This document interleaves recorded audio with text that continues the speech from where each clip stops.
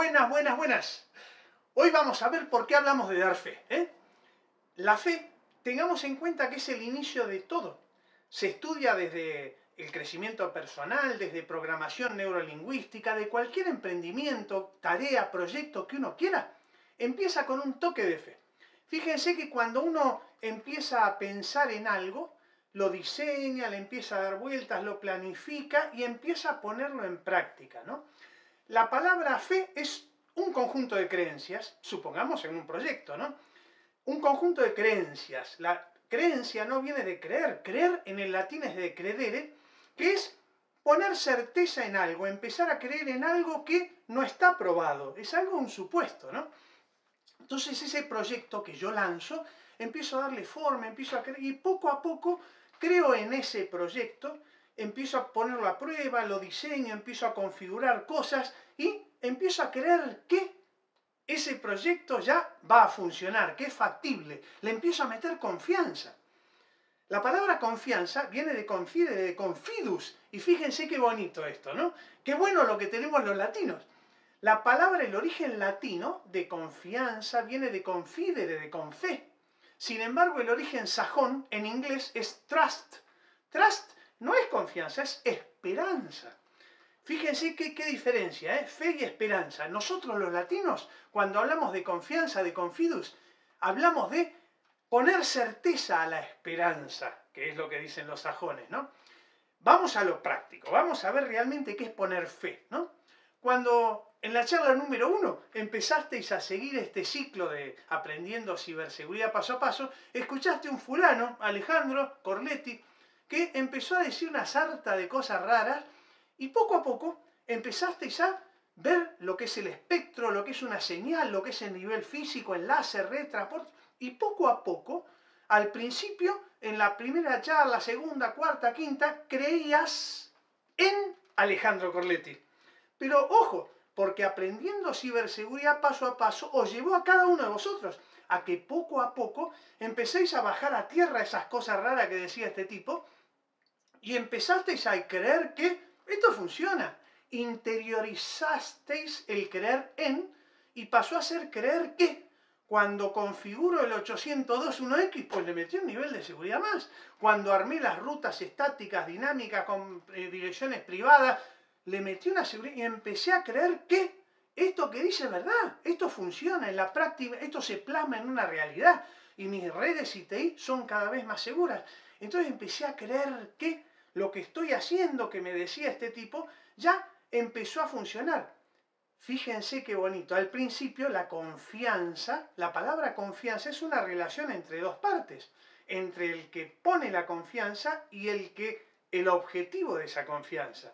Al principio empezasteis a tener confianza en mí, que los empecé a hablar en la charla 1 hasta esta 80 de lo que es la ciberseguridad. Pero ahora la confianza la tenéis en vuestras plataformas, en vuestras infraestructuras. Esa, esa relación mutua empezó a tener confianza en lo que estáis haciendo. Y todo nació con un toque de fe. la gente que, volviendo a esa charla de humildad, ¿no? la gente que está en contacto con la tierra, con ese humus que hablamos hace unas charlas de atrás, sabe que cosecha lo que siembra. Es decir, si yo siembro tomate, voy a cosechar tomate, no voy a cosechar lechuga. Si yo siembro patatas, voy a cosechar patatas, no berenjena. Entonces, uno lo que va sembrando es lo que va a cosechar.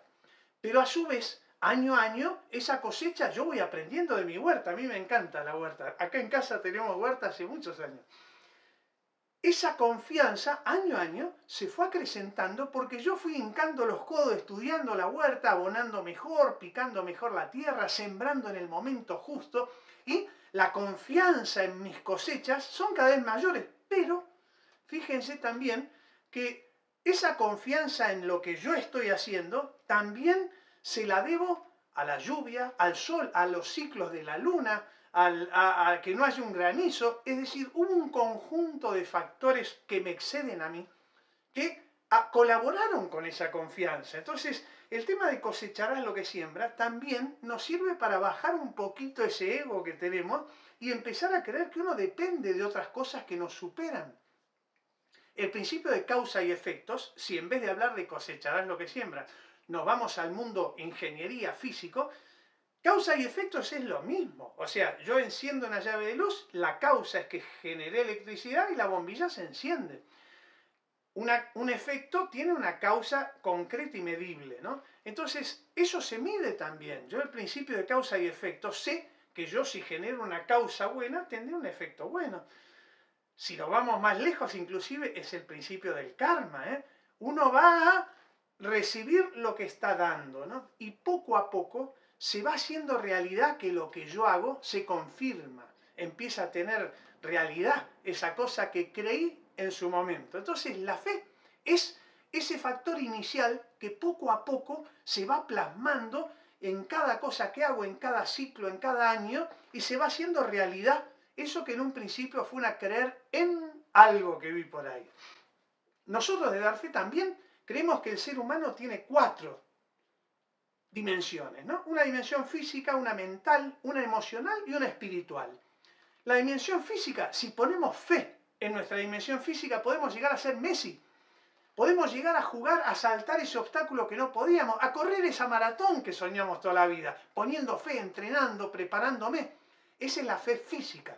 Si yo pongo fe en mi parte mental, voy a superar el examen ese que me costó horrores y que creía que no, pero cuando puse fe y lo hice en serio, lo aprobé.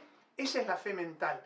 La fe emocional es un conjunto de cosas que me pueden hacer tomar la vida con mayor templanza, con mayor serenidad, a dominar mis miedos, ¿eh? a superar ese obstáculo que yo tenía mental, emocional, que yo creí que no lo voy a, y superar esa bronca, superar esa ira y vencerla y avanzar un paso más. Esa es la fe emocional. Y por último, si queréis, pensemos una fe espiritual. No la llamen Dios, catolicismo, Jesús, Cristo. Llamemos como queráis. Mahoma, Alá, Shiva, eh, Osho, Buda, como quieras. No me interesa cómo. Pero pensemos que este envase que traemos al mundo no somos solo nosotros. Hay algo más allá, que depende de esas cosechas, de esas mareas, depende de esa autovía que yo y que le hicieron millones de personas y que me facilitan la vía para que yo viaje. Dependemos de un entorno muchísimo más grande.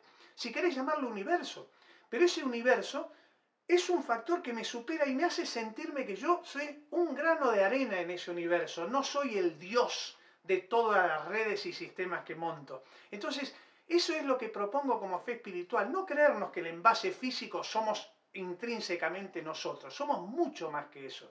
Y a su vez estamos inmersos en algo que es infinitamente más grande que nosotros y que si lo sabemos jugar a favor, va a colaborar con nuestra fe.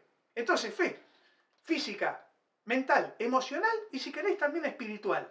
Ese paquete holístico es lo que llamamos fe. Y la fe mueve montañas, por eso hablamos de dar fe.